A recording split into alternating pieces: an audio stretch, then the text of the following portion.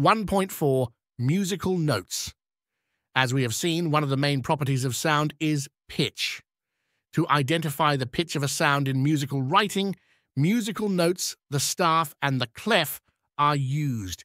Musical notes are the signs that represent the sound in written music.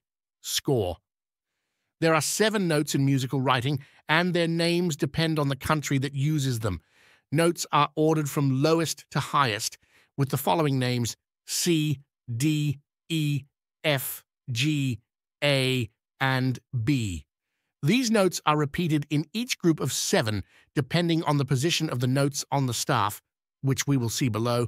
The sounds can be lower or higher.